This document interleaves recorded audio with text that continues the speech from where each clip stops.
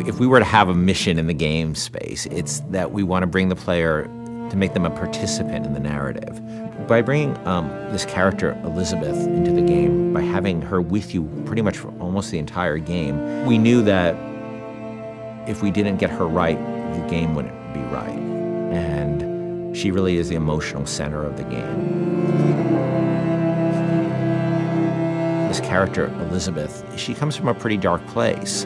And but she's also got an incredible amount of enthusiasm for life. And when we found Courtney, I think we found somebody who could who could do both. I don't dance. Come on, let's go. Why? What could be better than this? It's so complex. I mean, you're talking about really trying to, to bring forth all the complexities of human nature that impact us because you're having to use only your voice to convey your entire, you know, the character and what you're trying to portray you have to put your entire body into it. So there are times when I'm doing voiceover work and I'm literally drenched in sweat because my body is working so hard.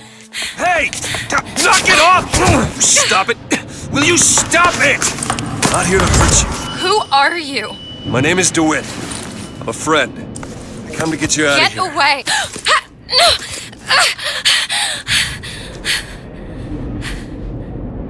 Are you real? It's not these one note emotions. And, and I think that's what was so important to us as a collaborative team to be really putting forth a narrative that was strong and that was complex and that was, you know, reflective of how deep and um, the myriad of emotions that the human beings experience.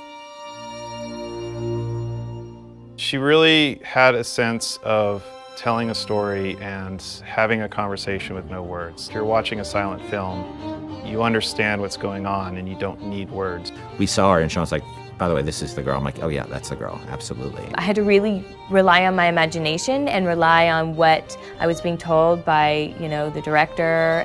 Weird for me to see myself, like literally, like every movement that I did. Yeah. I mean, I can, I see myself in it. I mean, it might not be my face, but the thing is, is she's actually in a world. When I did it, I was in like an empty room. Yeah. They put me out into this giant sort of basketball court. It looked like with stuff taped out on the floor. That was sort of like the imaginary, you know, world.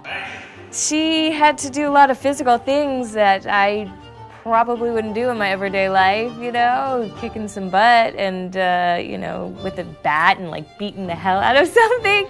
It just started to feel like it was my voice, you know, I just really started to connect with it physically, and this voice was all one. I don't understand how could we get there? the incredible voice acting and the incredible uh, motion capture acting was the most useful and inspiring element that we could have had for Elizabeth. Liz will follow you around the world, and if you decide that you don't want to go where she thought you were heading, she can handle that really, really cleverly. She will stop if you stop. She will keep running if you decide that you're not interested in what you're doing here.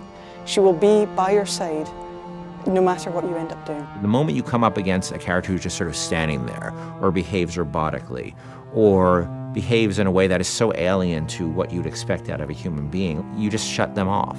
And you just say, oh, they're just a video game character. I don't need to worry about feeling anything about them. And so we tried a lot of things. Uh, we tried to make Liz um, have emotions um, so that she can react to things in the world and things that you do. For example, we might say that Liz will feel comfortable leaning against this wall, but she'll do so with her arms crossed. And she'll do so with her back slightly turned towards you. And that difference of just a few degrees is enough to make the player feel that they're really in the doghouse. You're going to see her all over the place. You're going to see her on giant billboards in, you know, New York and LA, and you're going to see her on TV ads. I said, okay, well, if we're going to find a person to play Elizabeth, I think we already have that person. Еще один из самых первых вариантов Элизабет, я сказала, боже мой, это же я, я должна ее сделать.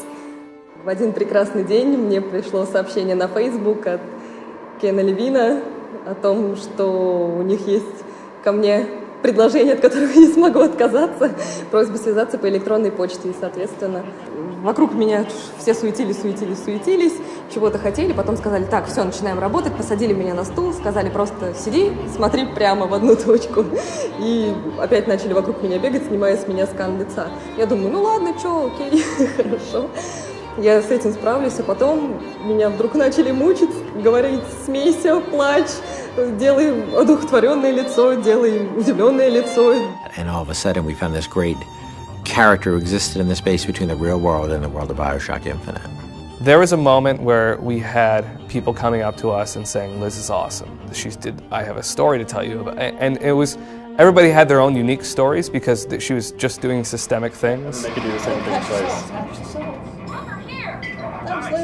I actually get people telling me things that there's no way I could know about. Like, say there's one of the, the combats kicking off and they're having this incredible moment where they're running around the place and smashing someone in the face and blowing someone else up with a shotgun, and they've suddenly, a huge big boss man comes up and they go click. Oh no.